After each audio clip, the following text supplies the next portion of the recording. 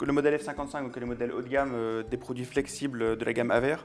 Donc par rapport au F15, son atout principal sera pour les enseignants de matières scientifiques, type biologie ou technologie, de zoomer grâce au zoom optique 8 fois sur un objet de petite taille et donc d'afficher pour les élèves tout ce qui est objet vraiment de petite taille, voire minuscule, type insecte. L'autre intérêt du produit également est d'avoir une sortie HDMI pour un fonctionnement donc directement sur un vidéoprojecteur euh, plus récent. Également une connectique VGA pour les vidéoprojecteurs euh, qui n'ont pas de connectique HDMI. Et donc évidemment la connectique USB euh, pour un fonctionnement donc sur un PC via le logiciel qui est fourni. On a toujours accès donc aux fonctions d'enregistrement des images. Donc toujours ici une touche capture pour capturer l'image qui est affichée ici. Et donc pour la récupérer dans la mémoire interne de la machine. Donc on retrouve cette image ici. Donc là, on va sélectionner l'image qui aurait été enregistrée. Et donc là, on est sur une image qui n'est non plus en direct, mais qui est euh, dans la mémoire de la, machine. Sur le F55, donc on a la possibilité d'enregistrer des images et des vidéos sur clé USB ou sur carte SD.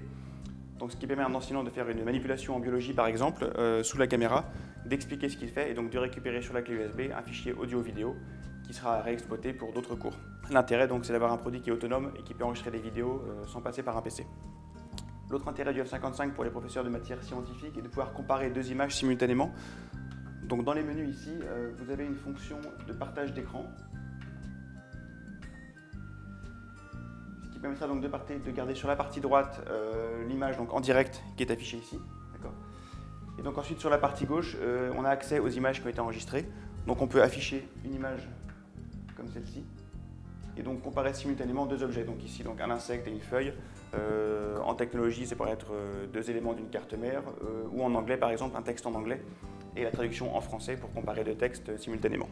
Donc le F55 permet également de mettre en avant une partie d'un texte ou d'un objet comme, ici.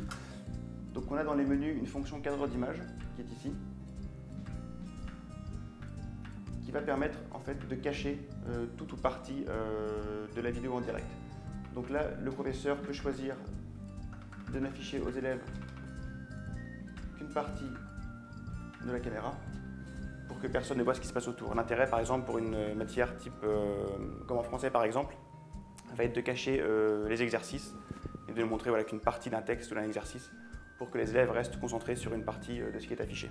Un autre intérêt des visualiseurs à verre, donc y compris le F55, sera de pouvoir connecter donc, un microscope directement sur la focale du visualiseur donc Aver fournira donc une petite bague euh, en plastique qui va se brancher sur le visualiseur directement, à partir de laquelle on va entrer donc le microscope en face de la focale et donc ce qui permettra d'afficher en classe euh, via le projecteur la vue en direct du microscope. L'autre intérêt d'utiliser la bague microscopique euh, sur un microscope en classe de sciences, c'est qu'on garde toutes les fonctions inhérentes à la machine, donc tout ce qui est enregistrement des images ou des vidéos. Donc on pourra capturer des images du microscope directement dans, le, dans le. Donc en termes de connectique pour le F55, vous avez ici donc euh, l'alimentation 12 volts euh, indispensable au fonctionnement, euh, l'entrée VGA pour rentrer un PC et se servir donc du visualiseur pour faire le switch entre le mode PC et le mode caméra, la sortie VGA directement sur un projecteur, la sortie USB pour un fonctionnement sur un PC via le logiciel. Sur le côté, vous avez ici le port pour la clé USB pour l'enregistrement des photos et des vidéos directement donc, sur le visualiseur la sortie HDMI donc directement sur un projecteur. Et ici donc la fente pour carte SD pour l'enregistrement des photos et des vidéos euh, sur carte SD au même titre que sur la carte euh, que sur la clé USB. Vous avez sur le panneau du F15 donc plusieurs touches qui rassemblent les fonctions du visualiseur. Donc la touche ici centrale AF euh, est pour l'autofocus, donc pour la mise au point de l'image. L'éclairage se fera ici, une touche donc lampe. la touche freeze pour le gel de l'image, donc pour que l'image se fige, pour ensuite la libérer et rafficher l'image en direct. La touche de capture donc pour l'enregistrement des images qui vont se mettre dans, la mémoire interne du visualiseur.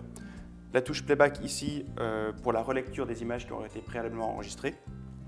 Euh, et la touche caméra PC pour faire le switch entre la vue de la caméra en direct et la vue du PC si on a branché un PC euh, sur l'entrée VGA du visualiseur.